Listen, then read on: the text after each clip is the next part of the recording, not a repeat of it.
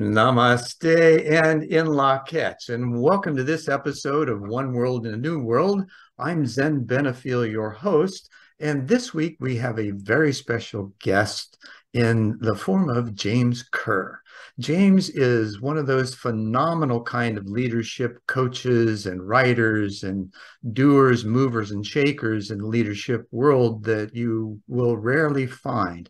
He is a number one ranked leadership coach as think or by Thinkers 360. He is a management consultant and leadership coach coach for indispensable consulting for approaching 40 years. Um, he, I believe, is uh, also an adjunct professor that uh, the Rensselaer Polytechnic Institute, which is a pretty cool place to be. Uh, he's a columnist for Psychology Today as well as Inc. magazine. So, James, thank you very much for showing up today and uh, engaging in the conversation. Yeah, Sam, you know, I'm really looking forward to it. I think this is going to be fun and insightful, I hope. And, uh, me too, right? Thanks for having, now, me, having me on. Did you have some uh, books? I, I, did a little bit of, of research in, in the time constraint that I had. I believe that you also are the author of a book called Legacy. Is that correct? Uh, no, that's not ah, me. All right. Well, I gave you credit anyway. Maybe it's one you should write. but yes, uh, there is a guy out there doing the same kind of stuff that I do, and he wrote a book called Legacy, which is on a. It's really a leadership book, but it talks about the rugby team out in I guess New Zealand, if I'm not mistaken. Okay, beautiful place. Years ago, yeah. Well, you are a legacy in, in your field, so that would be an appropriate, at least, uh, moniker for you to carry for the moment, right? Uh, yeah. so, I mean, my latest book's kind of behind me. It's indispensable. Indispensable. Yeah. So that's that's book number six, and I'm in the middle of writing book number seven as we speak. So, so what's it like uh, before we get into the normal course of conversation? What's it like the writing process for you? Well, you know, I I really I know a lot of folks look at it as a chore, but I really look forward to writing. It, it gives me an opportunity to uh, really think through the topics that I'm covering. Um, it helps me to demystify some of the stuff that I think uh, other thought leaders might exaggerate or, or, make bigger than it needs to be. Mm-hmm.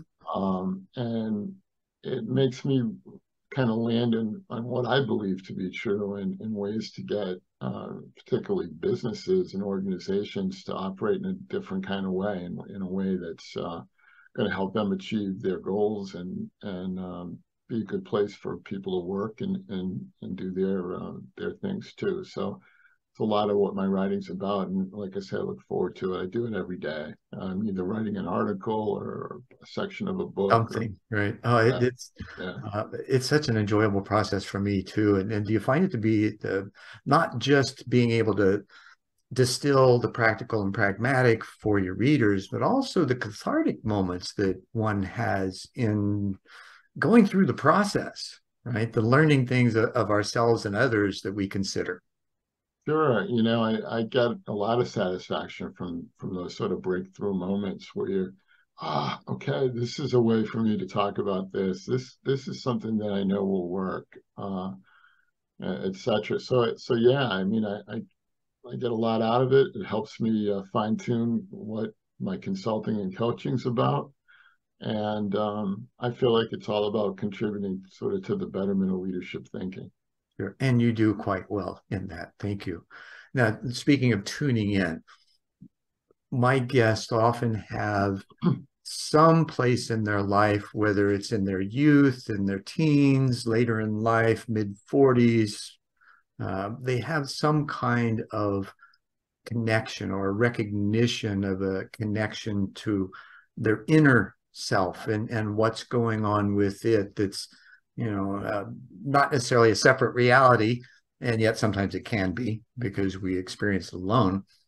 What kinds of, of things and, and being who you are and what you're doing now, that to me had to have some early development in your connection with your inner self and the world.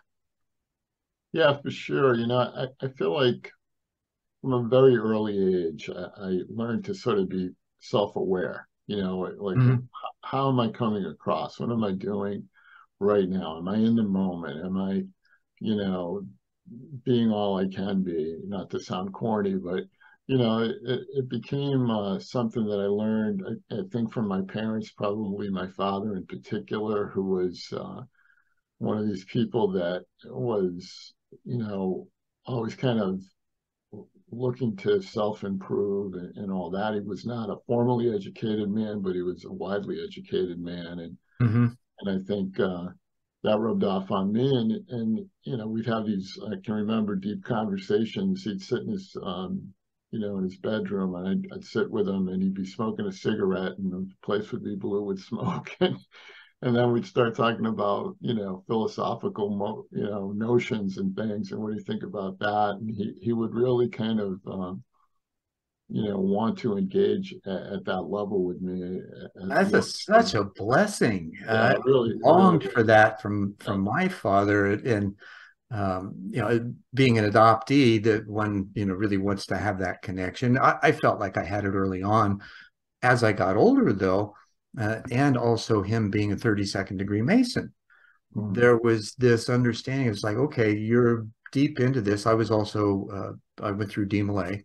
And so there was this deeply instilled value system, right? And it seemed to lead to more of the spiritual, the philosophical conversations, and yet there was a hesitancy to go there. And, and as a teen, I kind of um, broke the the mold, I suppose, in, in how I approached that uh, as an awakening and the things that happened to me in the moment. And I think it kind of gave him a little more um, hesitancy to talk to me because of the nature of what I was trying to talk about and it being so on the fringe of what was available at that time. Mm-hmm. Uh, and of course, that didn't come up until he was 80 uh, in his 80s. He said, You know, I, I understand you, but I was just afraid you'd say the wrong thing, the wrong place, and get put away. Huh. And so right, I never did. However, um, you know, those kinds of things. Did you, in those philosophical and, and uh, investigative conversations you had with your father, what were the kinds of things that made the most significance or, or had the most significance for you in your early development that then led to greater observations and self-awareness? Well, you know, one of the things that my father really instilled uh, in me and, and my younger sister was that idea that you've got to kind of be willing to do what other people aren't willing to do. If you if mm. you want to be successful, you've got to go above and beyond. You can get there through hard work. Um, you know, here's a guy that worked 35 years in a felt mill. You know, that was his his uh, sort of lot in life. But he wanted more for his kids, and and I, he certainly encouraged us to um, don't wait for someone to do it for you. You've got to do it yourself.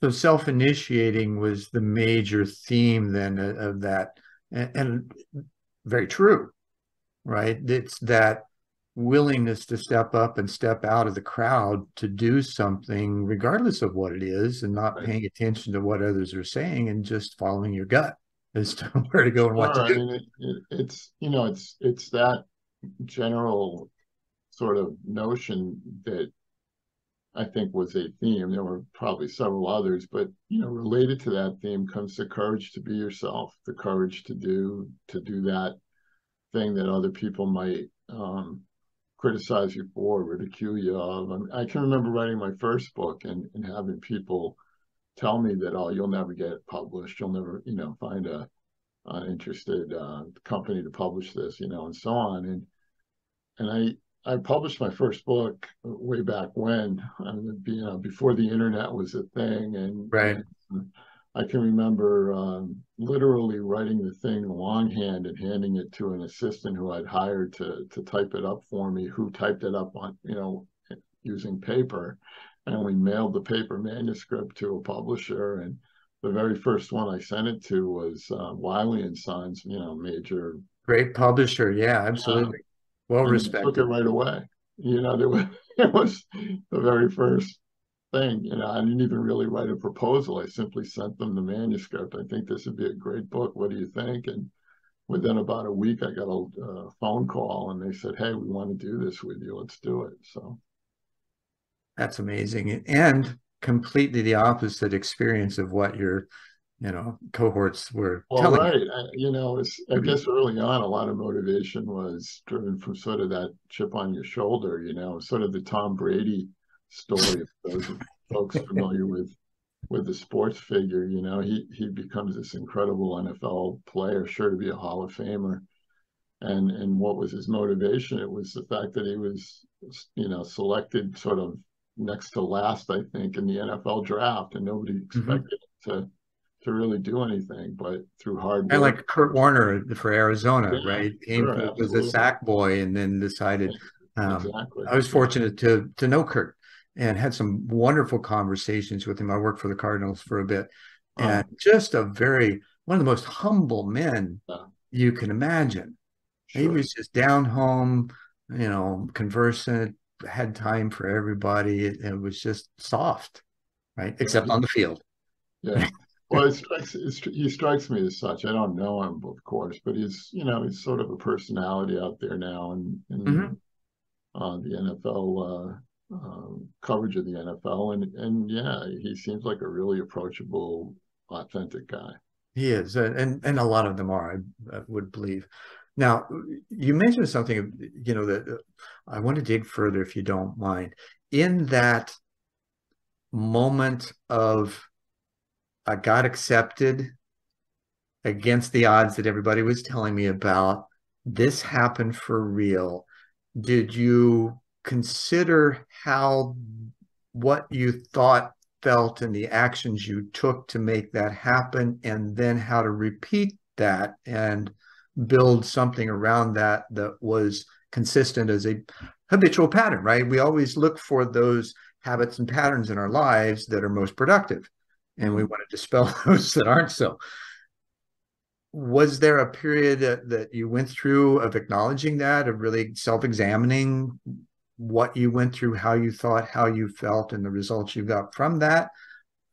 Obviously, when you were doing it, it was just a matter of course of doing, right? Yeah, I mean, I, I I don't know that I sat back and deliberately considered, you know, what's the formula for this kind of thing? How do I make it repeatable or anything like that? Mm-hmm. It became a real blur when that book hit the streets. I mean, it, it just took off, and I had all kinds of speaking engagements, and, and I made quite a bit of money on the side just just going to conferences and and, and speaking. And again, I, I was I was under the age of thirty. I mean, in today's uh, I should say through today's lens, that's maybe not that significant. There seems to be a lot of folks that have, you know, done a, a lot professionally at, at, a, at, younger ages and stuff. But this is in a time when there was no social media, there was no you know, um, no major promotions. It yeah, was a lot of hard know, work and blood, right. sweat, and tears to get it done. Yeah. You know, but publishing a book was a big deal. There, there was no self-publishing option. Right. You know, sure, there was Vanity Press or something where you might print up, you know, two dozen copies of something for your family or whatever. But, but things like the Amazon, Amazon wasn't even a business yet when this book came out and uh, and yeah, I mean, it, it was uh, I, I, sort of developed a following. I had people that really uh, were interested in uh, in learning more about what I was writing about. It, it was a book on on technology strategy. Um, mm-hmm. Specifically, it was about data and how to manage data in a in a uh, in a way that could. My theory was we should be able to manage it in such a way that it becomes an asset we track on a balance sheet. Sure. And, and this was like way before people even had, there were no words to, to talk about. I know, it, isn't it funny? And, and even in the change that we're having now with this massive market shift, there's really no words to explain what's happening internally with folks that are in this throes of change and wondering what the heck to do about it, right? right. So yeah. I'm hoping we can give them at least some sure reasonable foundation from which to grow their own self-awareness from. Um, now, in speaking of self-awareness, in that process, did you find that there was, and speaking of data and integration and management, you know, our minds are just a big data storage and how we manage that, the kinds of thoughts we think, the 70,000 a day we have that probably two thirds are self deprecating for most people. Yeah. Right. How did you find your crossover because what you're you know we live half inside and half outside so what you were doing internally was expressed externally in the write-up of the data and systems management how do you see that bridge working to uh, for personal development as well yeah well I, I, again i think it does start with self-awareness and then as you're alluding to that whole idea of self-talk right? We, there's chatter going on between our ears all day long, and it really does have an impact on how we behave outwardly. So a lot of the coaching work that I do is focused on helping uh, those leaders. I do leadership coaching uh, exclusively. But if I'm trying to help somebody become a better leader, they've got to first come become in touch with who they are inside and what messages they're sending to themselves all mm-hmm. day long. If they make a mistake and immediately call themselves a name, you know, that's an important thing to recognize because if we can change that that thinking, if we can flip the script, if you will, that goes on inside, we can start to adopt a different kind of mindset, uh, one that's more focused on growth sure. and learning and, and, and all of that. So so yeah, I, I, think it's really important. It's been something that I've I've been practicing for a very long time, and I, again, I kind of uh, credit my father, you know, and, and and some of those early conversations that I had, kind of shaping that up. You know? Well, and it gave you the opportunity to think about it, right? right. It, it's like we can't really know stuff that we don't know, right? right? We need to have someone at least offer some awareness that right. you know gives us a chance to ponder. Um, you know, the, a big part of a big part of what he's what he was talking about now, as I look back at it, you know, um, fifty years later, kind of thing. You know, it, it's it's a uh, it was about accountability. Yeah. It, it, was about being, you know, like you you are accountable for yourself and how you behave and what you're thinking and how you're be, you know, uh, bringing yourself into the world, kind of thing. You know, Mm-hmm. You know, are you proud? Are you proud of, of what you're doing and, and, and how you're behaving and all that? And, and, you know, to me, it was a huge part of growing up is, is just that acceptance of the accountability. Like, and to your point, Zen, you only can be accountable for what you know. But once you know something, you really need to be accountable for it. Now you don't have an excuse for yeah, there's no excuses. Yeah, you know it, you better apply it, or you know, you got a good look in the mirror to say, "Hey, buddy, buck up." Right. Right. Right. You know better. Right. Now, you know, with self, we use this term, self awareness, right? How deep does that really go, or can it go in ascertaining uh, the fullness of our own being and willingness to operate in a sense of empoweredness in the world? What what's that take? How what have you found are the key elements of that? Well, I mean, one of the things that I do with with the folks that I coach is I ask them to, and you, you may smile at this, but you know, set the timer on the phone. You've got a cell phone that that's probably constantly buzzing all day long, right? If you let it. So set timers, just make them at odd times throughout the day. And when that thing goes off, immediately stop and go, what was I thinking right now? Was I in the moment? Was I worried about the future? Was I dwelling on something that happened in the past? How was I talking to myself? Was I being positive? Was I being negative? Did I see this mistake as a learning opportunity or did I see it as like, you know, the world coming to an end? Mm-hmm. And the more we did that, you know, the more we have people do it four, five, six, seven, eight times a day over the course of a week, we come back together. So I have weekly sessions with the folks I'm coaching. So how was it? What did, what did you discover? And it's amazing what they discover. Oh yeah. So people are talking negatively all day. They talk to themselves in ways they would never talk to another person. Why do you think we do wonder, that? Wonder why they don't perform well. Yeah. Well, you're beating yourself up all day long. Is that something that comes from program, childhood, friends, neighbors, church, community, you know, kind of all of those things? And how do we recognize it that as we get older in order to, I mean, your process is, is a perfect one. Are there other ways that that awareness of, of being in the moment or not, right? And, and the effects of that, past, to me, like Lao Tzu, right? If you're in the past or the future, you're in stress, right? Yeah, absolutely. not being stressed is to be present. Yeah. Um, and then, I mean, let, yet- let's let's amplify that point, Zen, because again, it's Okay. something that I, that I that I do do in coaching. You know, if I find that someone's worrying about stuff that's about to happen or might happen, we start to talk about like, well, what is that? What if? Yeah, yeah. Well, what's the benefit of that kind of thinking to you? You know, and what inevitably happens, and I try to help point this out, is that thinking about the future is actually creating anxiety. They become anxious, right? Mm-hmm. And similarly, someone that's dwelling ab- about what happened in the past and ruminating on that, well, that leads to depression. So I can't really control anything that's happened already. And I certainly can't, I can have an impact on the future, but I can't control it because there's too many variables, too many other people doing their own things to really control it, right? So the only thing I can control is me. And I can choose to think more positively and act appropriately and, and do all that. Or I can choose not to. It's up to me. But the only thing I can control in the equation is me and my behavior and my thoughts.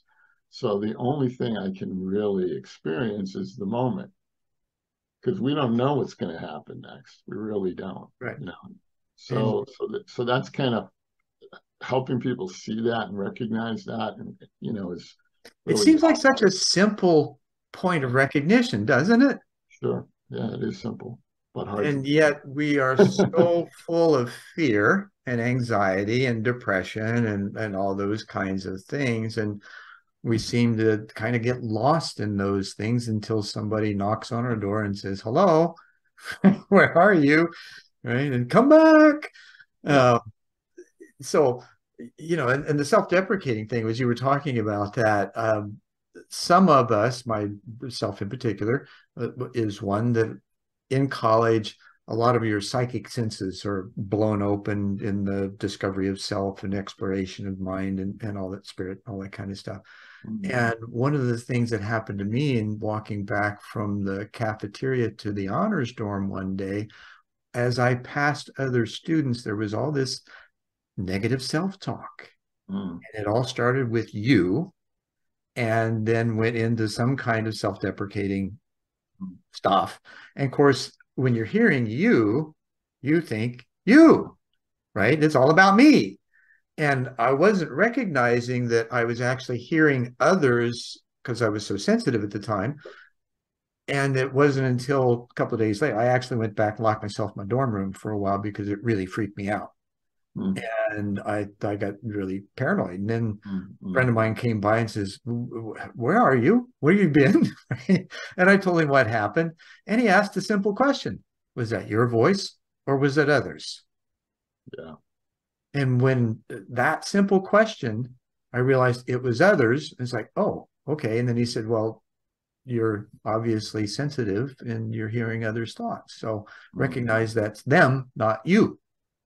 Mm. And so I think maybe sometimes we unaware because we are so sensitive and, and we are all energy, we're aware of thoughts, we're susceptible to them. And depending on our level of openness and vulnerability, we can really, you know, pick up some really wild stuff. And and Yeah. in those kinds of cases, did you have those moments in, in your youth where some of those doors opened up and you had to kind of deal with what was on the other side? Uh, yeah, I mean, I, I, I guess so. I, I I had,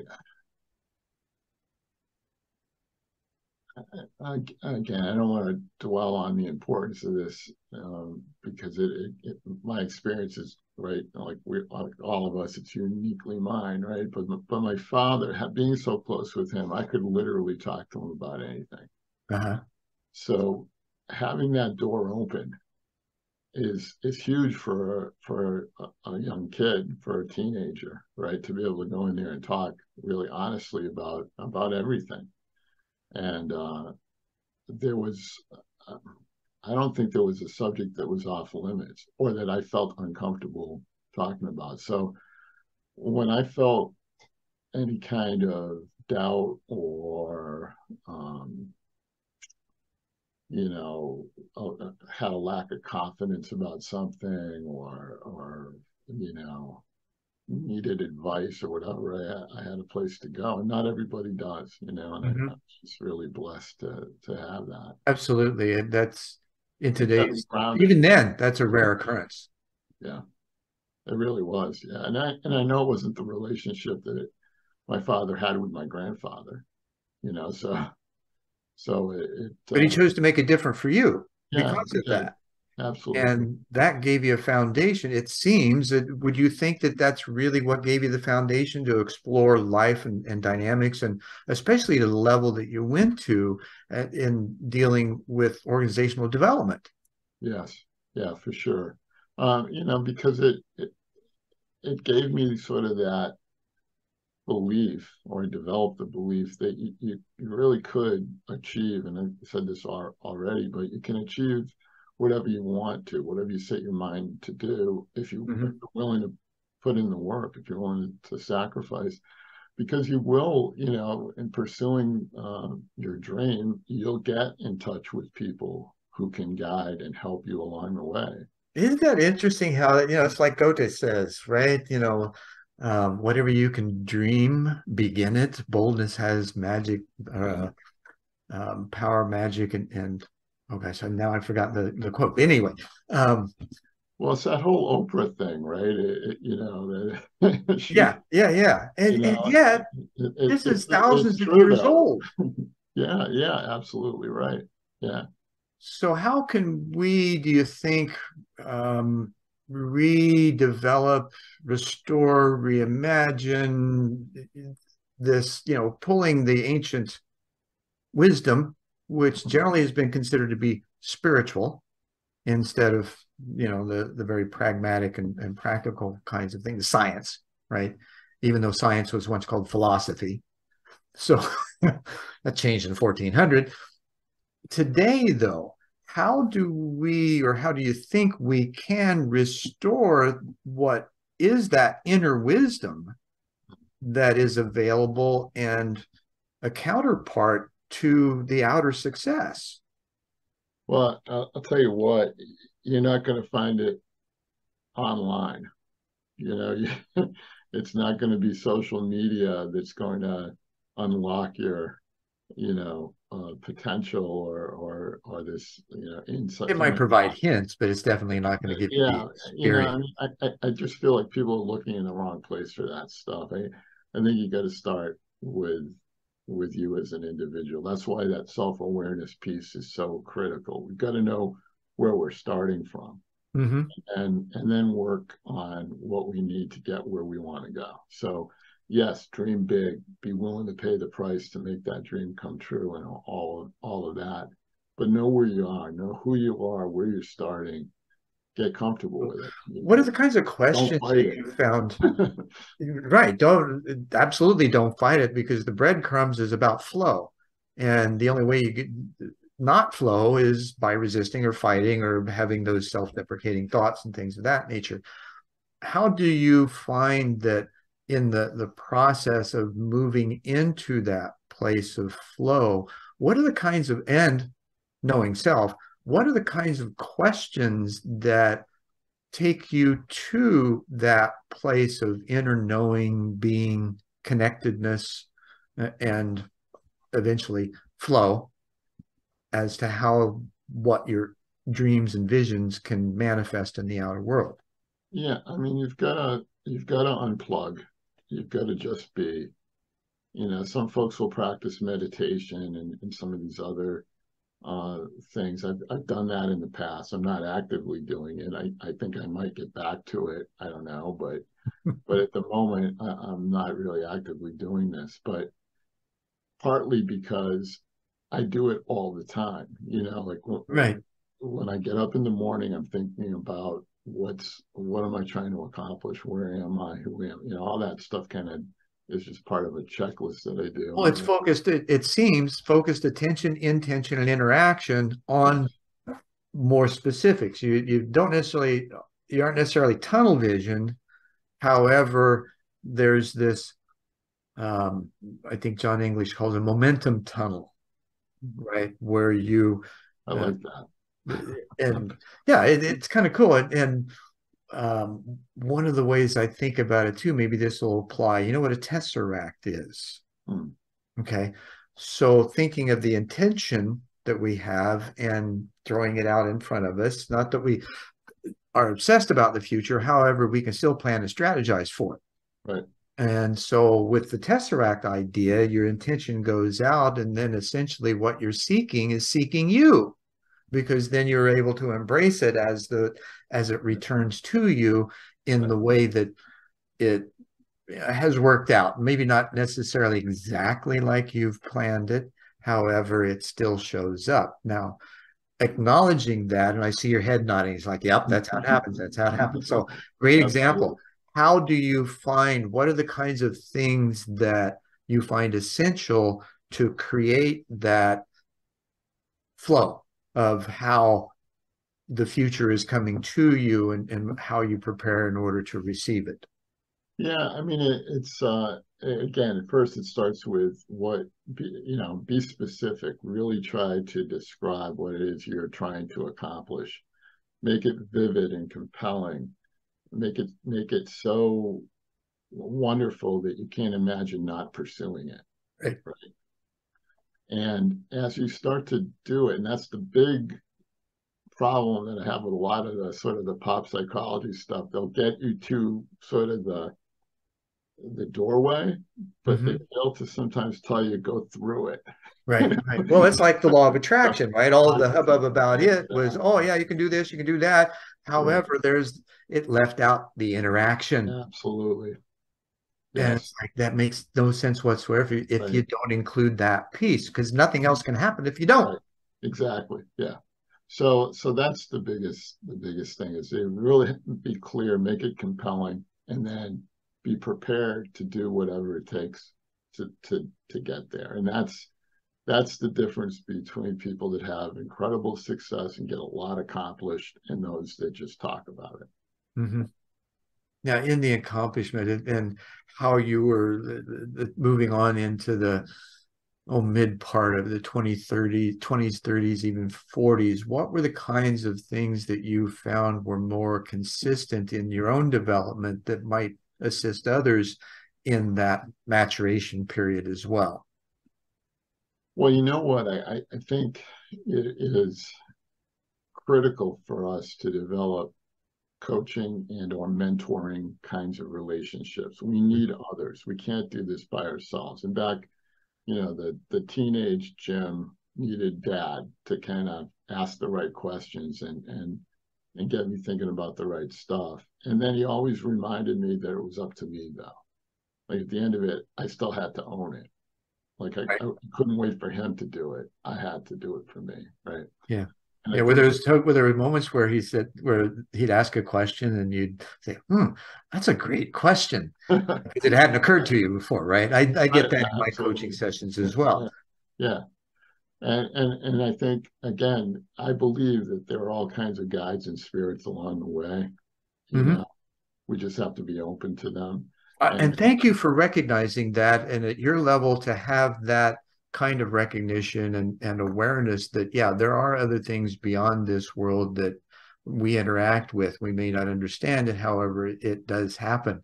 I had a wonderful conversation with a 92 year old past bank president here in phoenix that said he was just still had his office said i'm just here to talk to people. So i had an idea for an international cultural center. I was in my bachelor's degree. It was in the late 80s And I thought, okay, I'm going to go talk to him just because he was available. And I presented my ID. Said that wonderful. You just need to go out and find the pieces. And then for the next hour, we talked about the psychic gifts that his wife had and how they helped him in developing the bank's business. And he and his brother brought 70% of business into Arizona in the 30s and 40s. Yeah. So all of these things, it's like, wow, here's you know one of these guys that's hugely successful and says, yes, these two tools are available, and I advise using them. Right. Yeah. Now, how did that affect again, you? mentor, mentors and coaches. I mean, I, I, I think those played a huge role uh, in my further development as I, as I got older. You know? Were there any things in particular that happened that were just off the charts weird that turned out that, that then gave you a deeper understanding of how integrated reality is? You, you know, those kind of moments happen to me an awful lot. I kind of figured it might. Um, and I I don't have anyone that really like, oh wow, look at this, you know, really really Well, a couple would be good too. I mean, you know, two or three even, just something yeah. that, you know, something. And I know I'm, I'm peaking old memories, and, and you hadn't thought about that stuff for a while. And um, yeah, I mean, it just it just seems that when I needed something, it suddenly appeared, you know, and it would come and in a conversation I might be having where someone said something that I needed to hear, maybe had nothing to do with the uh, the core of the conversation we were having, mm-hmm. but the point like resonated and actually helped me deal with something else that I wasn't even talking to the person about, you know, those kinds so your attenuation to those pieces was high. Yeah, and they and they continue to be. I mean, it's amazing. Like I, I may see something and you know on television or or whatever, and it's it's a couple of words that that I find interesting, you know, because as a person that writes, words have a lot, mean a lot to me. Uh, I'm hip, yeah.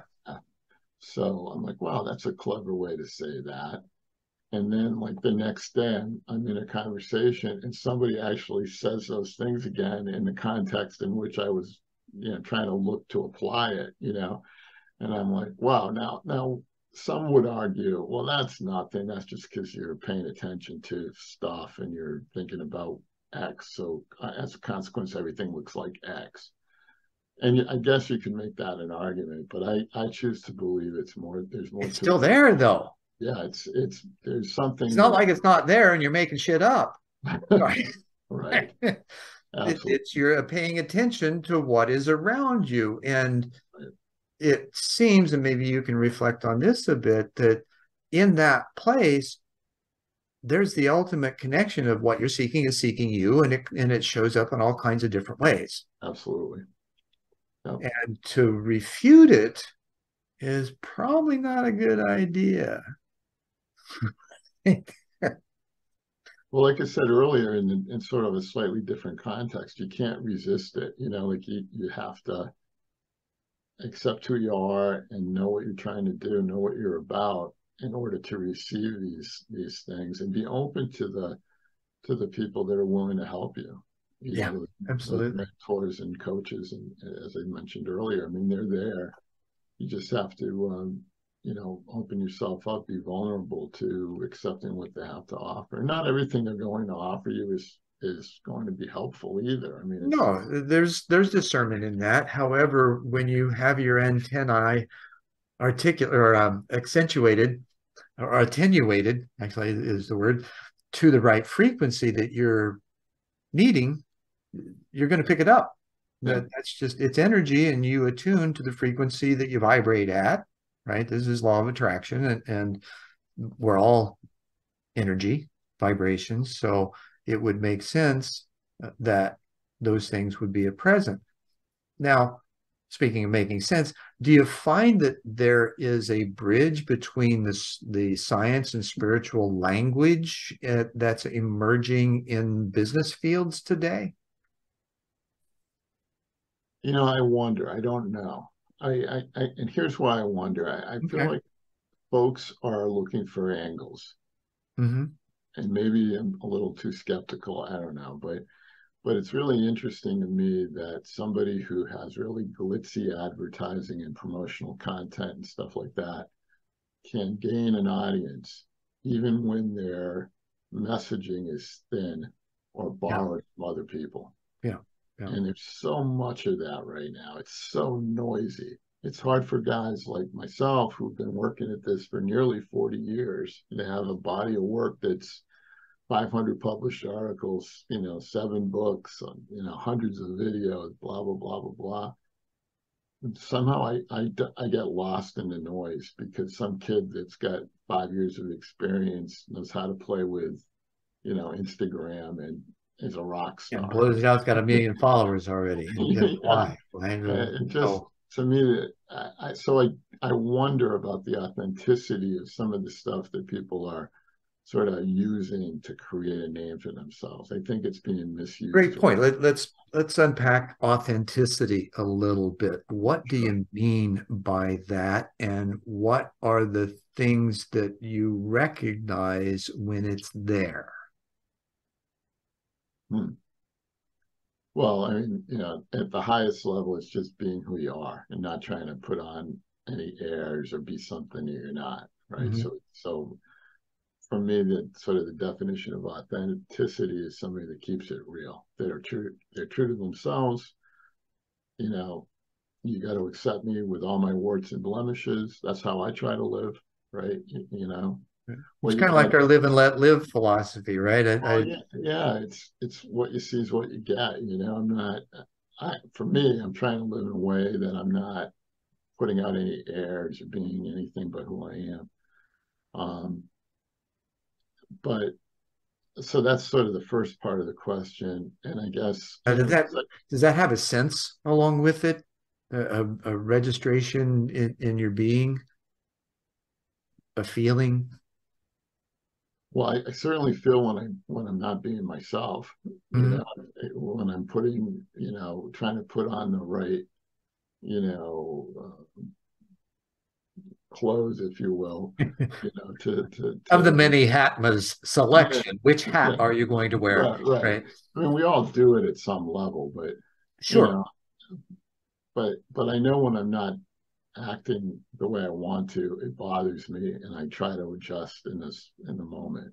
And- in, in the perception of others because this is where we you know the discernment of truth right? Authenticity and those kinds of things. When you're feeling it when you're in the presence of one who's being authentic how does it affect you so that you at least believe that they're truly being authentic? Yeah, I mean, I, I, well, first off, in most circumstances, you immediately are attracted to somebody who's keeping it real. Yeah. And, and you're building trust as you go along, even if it's someone you just met. If you feel like they're really authentic, they're really who they are, you'll start to pick up on that and you'll pay more attention and and you'll give more of yourself. You'll be more vulnerable and so on to make that connection. I'll just give you this a really silly example, but it just happened to me yesterday, and I can remember uh, thinking about it this morning when I woke up. I, I'm at a driving range, a golf range, right? And I'm testing. oh i out- love to play too so I'm testing out a new golf club that I'm thinking about buying, and I forgot my tool in the car to adjust the yeah yeah yeah so must have been a driver then hmm? Yes, it was a driver. yeah okay So I look over at the next bay and I see this guy, and he's got his full bag with him. Meanwhile, I only have the couple of clubs I'm trying to test drive. And I ask him, you know, do you have one of those tools on you, a wrench? You know, and he's like, yeah, I think I might. And he took the time away from what he was doing. He was hitting balls too, you know, and he finds it and gives it to me, and I make my adjustment. I hand it back to him and thank him, and he says, um, well, I'm going to keep it right here. So if you need it, just come back and get it. And I said, no, no, no, you know, put it over with your stuff so you don't forget it when you leave, you know. And then I walked back over to where I was and I hit some more balls. And when I was done, he was still hitting. I, I kind of walked by and thanked him again, and he's like, "You bet." But the thing that I got from him with that really modest exchange was just, here's a nice guy. I just had a feeling he's a good guy, mm-hmm. trying to be helpful. He's willing to, you know, here, take the thing, you know, get come, don't even ask, you know.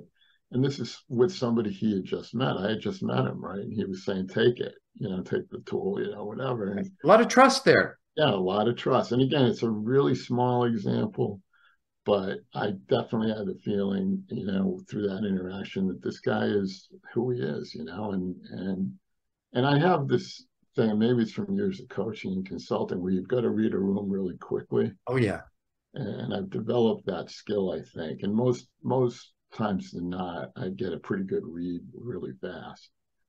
And I could immediately start to think like, okay, he's a working class guy. He just got out of work. He's hitting some balls. He's and I immediately kind of connected with him, you know. Mm-hmm. And there were certain visual things that probably reinforced that in my head, but sure. And who knows what they are at this point? I'm not really. Well, there's indicators we pick up that yeah, we don't necessarily know what they are, but we get a good read anyway. Right. I, I can relate I to that. Felt like this is like a really good, just a really good guy.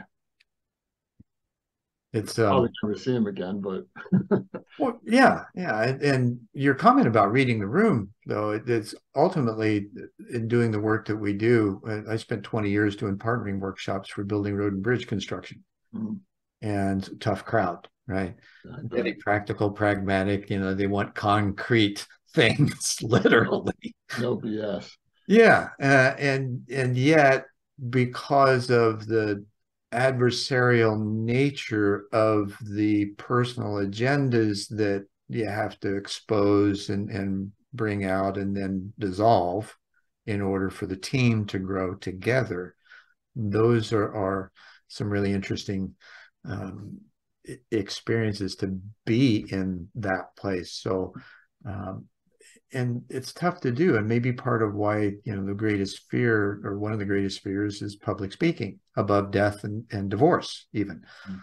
uh, because you've got to have that and and you're feeling that energy yeah. just being on stage or in front of a group or in the middle of one there's that energy especially when it's present it can be really intense and being how do you make yourself available to the flow in the moment with those groups because there's a certain place one has to be in in order to be most effective. How how do you achieve that? And how do you describe being in that place? Mm. yeah i mean it's a real tough one I, I think part of the calculus i go through is i'm there to do a job. So the acid test that i like to apply it's one that i learned from from a guy that was the chairman of Baxter International. His name is um, Harry Kraemer. Uh, Harry had this layoff. He, I think he had to lay off tens of thousands of people at one time. He uh, was asked by a um, a business columnist who was interviewing him, you know, how can you sleep with yourself? The impact of so many people's lives and all that. And his answer was what I something I sort of fashioned into what I call a decency acid test. And it's two simple questions. Did I do what I thought was right? And did I do my best? Mm-hmm. And what he said was if I could answer yes to both of these questions, then I can sleep at night. And and I kind of feel the same way about the scenario that you described. I mean, I'm there to do a job. I've got to try to do my best. I got to do what I think is right I can feel all those things, but I can't succumb to them. I have to get above that because I'm there to, to do something to have an impact in this group. Would you uh, term it more as allowing your innate skill set that you've developed to do that performance take over? It's like you get out of your own way and let it take. I do. Yeah. And, and, and sometimes I'm more effective than others, but uh, that, than other times. But yeah, it's it's about you know just trying to, especially when I'm feeling that. Sure. And and there's all kinds of, of right. um, not necessarily impedances, but impactful um, things such as how the planets align that day, what your biorhythms are, yeah. right? All of those little nuances that most of us don't pay attention to that can have profound effects, especially if it moves us out of alignment and we can't find a way back in. How do you have those moments and how do you deal with them? Well, I know when I'm having an off day. I mean, you know, and again, I'll use a really simplistic sort of example, but you know, you can be out on the golf course and you're just not hitting the ball. Yeah. You're just not hitting it. You know, the day before you were, now you're not, you know. And um, one of the things that you have to, again, starts with self awareness like, I'm not having a good day right now, right? My swing's off. I can't, I don't have the time to analyze it and discover a fix. I, and I better not try to make a fix. I just have to go with what I got. Yeah, go hit the ball. Right. Do my best, you know. And and it's it's that kind of awareness. And then it followed up very quickly behind that is self-talk. So if I do have a bad shot because I'm not having a great day, remind myself, you know, the world's not coming to an end there's an opportunity to practice hitting it out of the trees now. right, right. you know? Well, and that so you know, basically go with it. Go with what you've got. I, I don't think about all this stuff around biorhythms and all that. I I, I think I know. I that, and most of us don't. And however, those do affect something to it, probably yeah. right. but I'm not consciously or deliberately considering it. I'm just kind of recognizing that I'm not having my best day right now, but I still mm-hmm. got to get through it and I've got to do my best. And and you don't carry the attitude from one shot to the next. Right. For the exactly. most part, you learn it's kind of the zen of golf, right? Yes. You're in the moment with the swing, and beyond that, that's all you got. You're someplace else, right? It, that, that, moment is all you have. Yeah. And, and the result of that swing is all you can live with next. You don't get to hit it again. Yeah, right. or hit it out of bounds. I guess technically you could, but yeah, but but you know, uh, you know what I what I'm getting. Unless you're just starting out playing with the guys and you have a breakfast ball as a mulligan, yeah, right? Yeah, yeah. But, but you know, I mean, in, in general, if we're, if we're playing the game the way it's supposed to be played, you got to live with whatever you do. And it, and what's so great about golf is it is all about you. Nobody's, it is, and it's all about the integrity. Right the yeah. honesty and and right. the scorekeeping of like this is it and it holds that level of accountability and and the teaching of it this is one of the things that you know both of us i think have probably played golf most of our lives right. and it gave us this sense of genuine happiness and pride and, and you know, feeling good even on a bad day because you're at least on the golf course. Exactly. Yeah. Right. So, in this, as you got older, was there, were there any developments of any particular connections or uh, information sources, um, physical, non physical, that accompanied you at, at various stages in your life? Well, again, I mean, I, I, guess I'm always sort of listening, right? It, it's that, mm-hmm. you know, am I getting what I need? Because I believe that I will if I listen, you know. Important. And that I think is a key feature, right? You have to believe. It's like, not to be scriptural or anything, but there was a guy the long time ago that says anything is possible to those who believe. Yeah. Right. It's that belief factor. So how did that transform what you experienced in life? Well, it's a pretty powerful belief, you know, and I and I think it was cultivated in a real early age. Um, it probably has to do with sort of this Catholic upbringing I had from an early age. Uh, and then it was sort of further reinforced, you know, with the the mentors and stuff that I mm-hmm. that I found along the way, and you know, it, it, if you believe that if you if you believe in abundance, if you think that the you know there's plenty for everyone, there's plenty to go around, uh, you're open, you're more vulnerable, you're willing to be empathetic, you're willing to help somebody else out because you believe there's enough to go around. Mm-hmm. If on the other side, you're of the sort of the scarcity mindset and you don't think there's enough, then, you know, you're going to be selfish. You might even do some things that that that is that aren't uh, even handed to to get an advantage, right? Because you don't think there's enough to go around, so you're really fighting for the the, the scarce right. resource, right? So so much of it is is that basic belief, and and like I said, I, I believe that I'll get what I need. Hmm. And you do, and I totally agree. It, mostly, that, yeah, I think so. it, it, works. It, it, does. You and I are both living examples of that, and I'm sure there are many others. And if you're not an example of that, maybe you should listen to what we're talking about and see if any of it sticks, right? Um, and speaking of sticking, uh, is there um, in this the conversations you have, the business environments, there's this upbringing. You mentioned Catholic Church. Okay. So religion plays a huge part in people's lives. And yet, this kind of activity, the engagement of reality, doesn't seem to have really a, uh, it, it seems much more when you reveal it and you talk about it to just be common sense Hmm. And so, how do we make sense common beyond the boundaries that all these other ancillary systems seem to put in place to maybe unintentionally separate, but still separate? How, how do we come together? Yeah, you know, it's it's uh, really uh, again a really challenging question, and and boy, if we can figure that out, what a great world it'll be, right?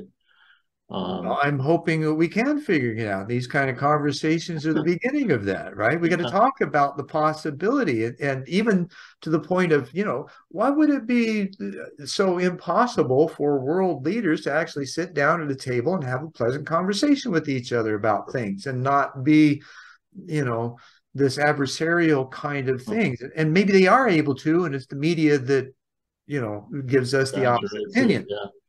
I, I mean, certainly, I think the media can exaggerate it and make it make things worse than than they might actually be.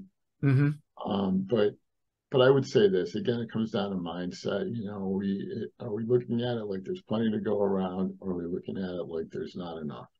And we, if we really want to make this fundamental change that you're describing, we've got to help people start to see it through the abundance lens. Sure. We've got to help them through awareness, through coaching, through our writing, teaching, you know, all that. I, I think it, it's about shifting that mindset so that we're a little less selfish. We're a right. little less about our about that, what, you know, how we're projecting ourselves on social media and all that. Sure, and those kinds of things are are imperative, in my opinion, as well. And you know, the the notion of writing it. Um, my recent book, uh, Navigating uh, Holistic Growth, the Servant Leader's Guide. How do you see servant leadership fitting into this next um, layer of how we do business globally? Yeah, well, it, certainly it's a it's a critical element of it. You know, so as a leader, just by definition, and if I'm viewing my my role as a leader is serving the people that I'm leading, right?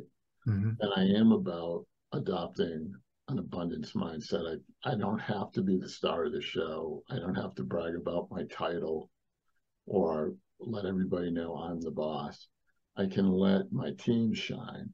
I can let them be successful. I can take the steps to help them be the stars of their their their show, you know. And and I kind of think back to the to some of the underpinnings of that concept. I mean, I don't know. I go at least as far back as Joseph Campbell, right?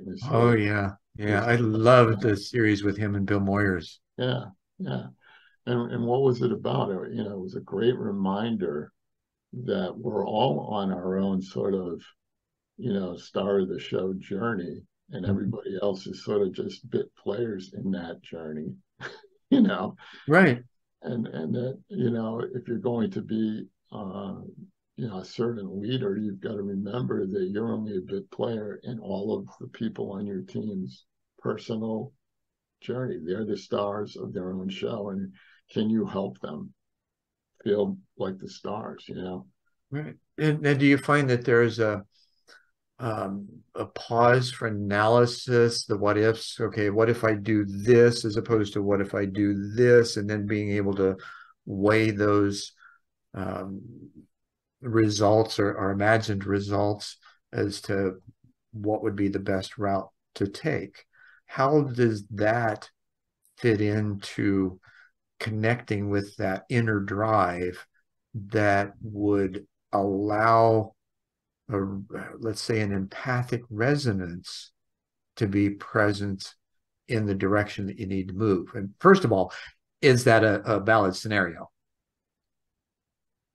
well i mean i like to think that and again i'm going to answer it more in regard to the leadership stuff because that's really mm-hmm. what i know right sure. but but you know i my belief is that that calculus that you're describing happens when we're learning a new sort of leadership skill, when we're folding something into our leadership repertoire. Mm-hmm. Once we master it, though, then it becomes more automatic. So the calculus is less. And so, you don't think about it anymore. It's right. just who you are. Yeah, I'm choosing the right leadership style for the moment because I know what the right leadership style for the moment is. So yeah. I don't have to think about it and it's sort of like a world class athlete. I mean, they're they learned the fundamentals, and they were taught specific things to do to to perform at a high level. And once they mastered, and they just kept building on that, building on that, building on that, to the point where now they don't think about it. You know? and you mentioned that even the thinking, the imagining, right? The the gamma zone is what they call it right? And where athletes have been hooked up to the stuff, and whether they're imagining or actually performing, the brain responds the same. Yeah. So think of the impact that that can have in just sitting and visualizing and then getting up and doing the work. Right. Right. Putting yourself in that place. It's amazing the kind of results you won't i can't see that um, you'll find a part of yourself you never knew existed mm. and it's one that you always thought did mm. but you didn't let it loose sure yeah i think right. you're right so and and that's that kind of of uh, well uh, where i originally got reconnected with the I or the notion of empathic resonance was with an interview with Mattias Desmet and T- Tucker Carlson. I'm not sure if you picked that up or not. Mm-hmm. Um, Mattias authored a book, The Psychology of Totalitarianism, and it was about how the media handled COVID. Mm-hmm. And then in the interview with Tucker, Tucker says, you know, uh, what did you find uh, the silver lining in it, right? And and Mattias responded, well, it seems that what people are really looking for is empathic resonance. Mm. And it's that thing that feels right. Mm. Right. And it, it, so, how do we, how do you, obviously you do, right? How does that come into play? And, and what are the types of things that give indicators that it's in process and and that this sense of, of, where you need to go is actually where you need to go. Right? Because we do have that ongoing filtration system if you will yeah. right? How's yeah, it work for you? For me it's it's looking at the results. You know am i getting from point a to point b in about the way i imagine you know? Mm-hmm. Am I doing the work? Am I eh, back to the decency acid test? Am I doing the right things? Am I, you know, uh, did, did I try my best? Because my best has to be good enough. I, you know, I, I, and sometimes you have to say it's not. Yeah. Right. Or, or decide like, okay, I'm going to try harder. I'm going to learn a new thing. yeah. It and it's not the, as you know, and and both of us and, and many others like us espouse that you know failures aren't failures yeah absolutely they're simply steps to learning right but even that's a great example of the mindset shift because some people look at failure and they'll beat themselves up. Mm-hmm. You know, look at how dumb I am. I can't even do this. Versus shifting that or flipping that script between our ears and saying, what a great opportunity to learn. I, I, didn't, I don't have what it takes right now, but I'm going to learn about what I need. And the questions that come from that is, what do I need to learn? Right? How can I be better? Yeah, and be uh, willing to put the work in, practice, you know, work at it. Yeah. Yeah. Yeah. So in the the overall scheme of things, what kinds of things do you think are most important in how business develops in these next few years as we're coming out of a major kerfuffle and the world shifting mindset to mind flow, possibly, as far as you know, incorporating this inner side of development now that seems to be becoming more present and and available even just to talk about, right? Without feeling or without being perceived as being crazy or weird, right? It's becoming more acceptable. How do you see that moving into the future and the likely events that it may precipitate in the evolution of how business is done? Well, I, I think to the uh,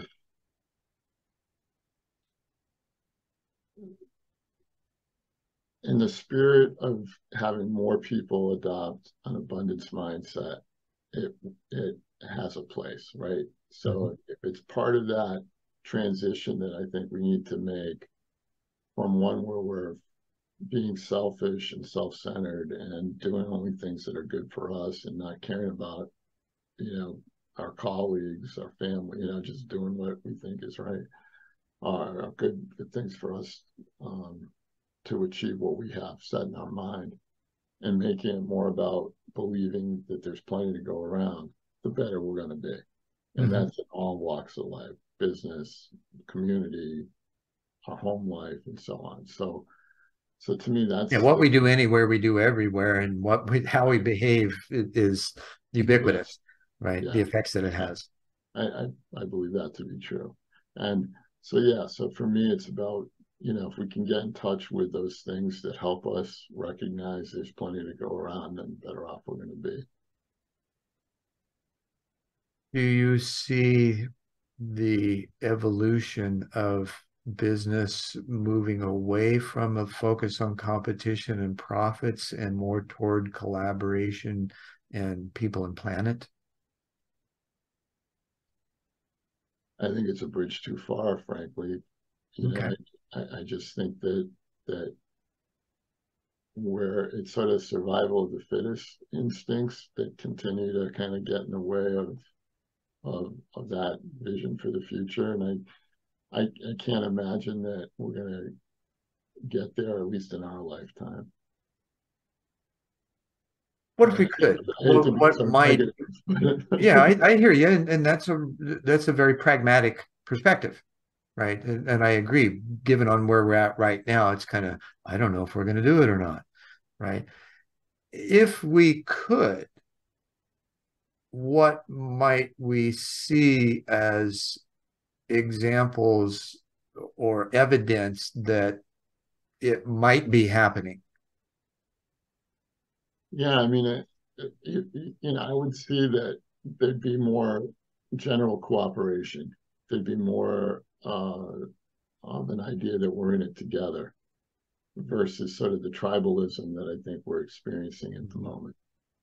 Um, you know, if we really, because because an implication of what you're describing, Zen, is really the idea that human beings are the tribe. Right. right? right. Uh, right now, that's not how we operate. You know, it's it, agree. And it's around boundaries that we've kind of arbitrarily created. You know that even in our our country, right, north and south, and conservative and liberal, and all these things are artificial. We've kind of created these labels, and and as a consequence, we're living inside what we think the rules are for that mm-hmm. tribe. Do you but think that the diversity and inclusion um, that is that the window washing um or, okay um I for the most part, I would I would agree I, I with we, you. Know, it's good to talking, think about. We we've been talking about this stuff for at least the better part of two decades. I was going to say close to thirty years. Yeah. Right. So so I'll go with you there, three decades, right? Yeah, yeah. And uh, you know, and I can remember writing articles about it. Like in 1999, I wrote an article. Is it diversity and inclusion, or is it adversity and delusion? And I talked about, you know, while the spirit of diversity and inclusion was the right thing, that in practice we're doing this other thing, which is not what diversity inclusion. So this goes back into that oh. notion of inside and outside, right? we haven't got in touch, and I'm just saying that this may be a possible perspective of it. Yeah. We haven't got in touch with the inside. You know, we that we're bereft of dealing with that inner sameness and recognizing that in the other and, and using going back to the old language like namaste and in lak'ech and things you know namaste is the divine in me recognize the divine in you. Thousands of years old. In lak'ech i am another you. Thousands of years old. Have we not learned anything? We're still such a uh, um, adolescent society you know yeah. and every nation has its own kind of personality and in what it's uh, and where it's at in the maturation cycle. Now, is it possible that as a collective, one of the things we might see is that we start looking at the most devastated areas of population in on the planet and taking care of them. You know, those places where it's war torn, it, it's poverty stricken, it's famine stricken, and if you know, if we uh, for and most people have at least some semblance of a religion in their lives. And it, it would seem like, okay, the bottom line of it is we're brothers and sisters and we should love each other, right? Well, how do we demonstrate that? right. Yeah, that's I mean, a very simple way of getting back to that.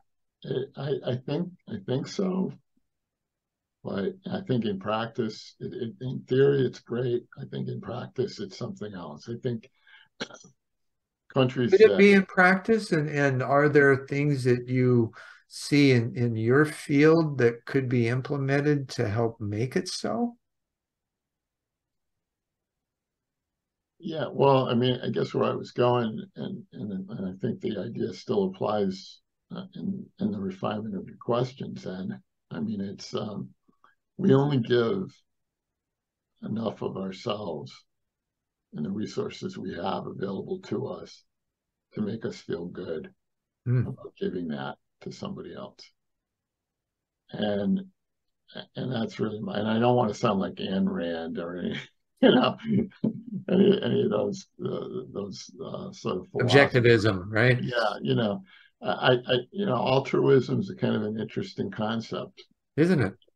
But but I think it's limited by our human nature, and and part of it's the selfishness part. And for the most part, you might give more of yourself than I do because you need to give more to feel good than I do, or whatever. You know, like those those those kinds of differences. But I do think that at the end but of the day, do you see even you have your limit?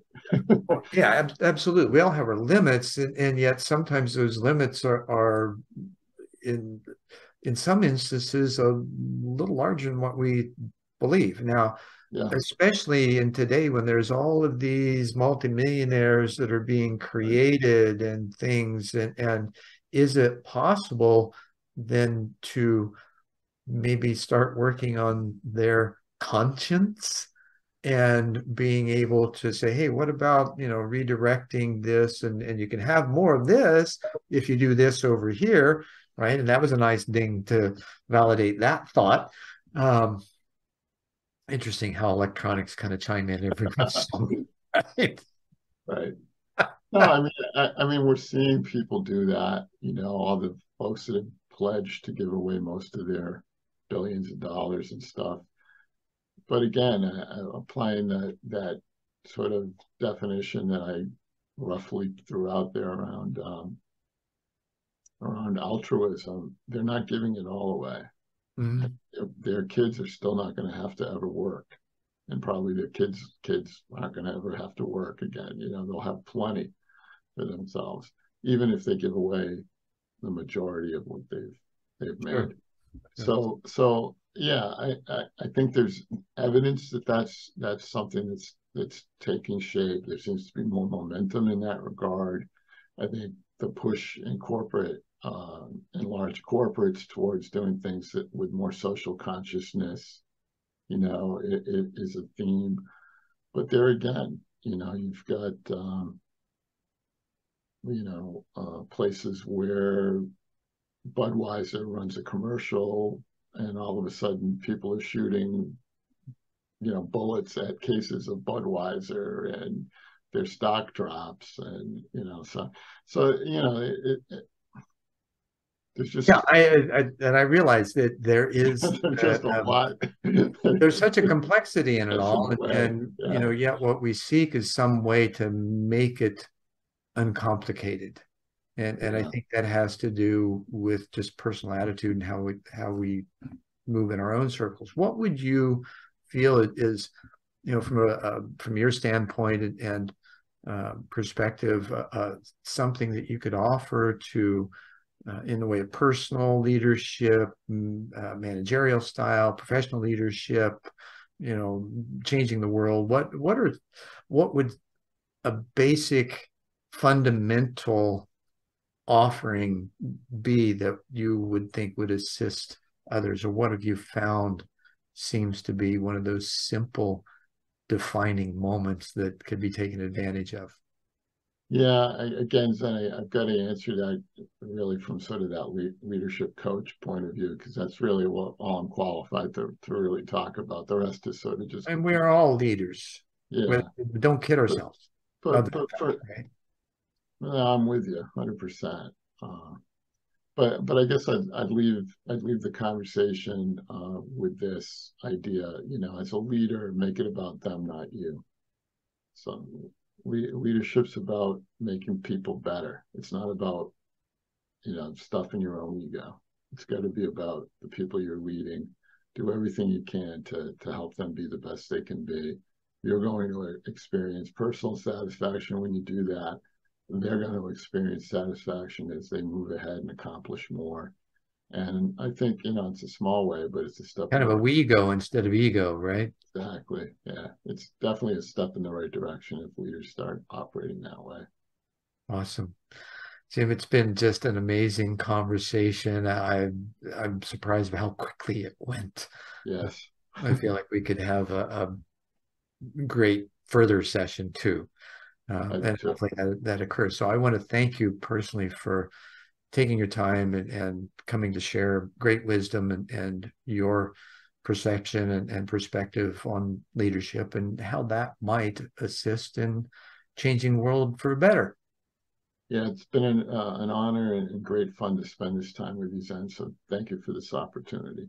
No, you're very welcome. Thanks for showing up again and namaste and in lak'ech. And thank you for sticking with us for this episode of One World in a New World. Please share and comment if you would. We'd love to hear your thoughts and to see it go much further than it has already. And I'm Zen Benefiel, your host. I'll see you next time.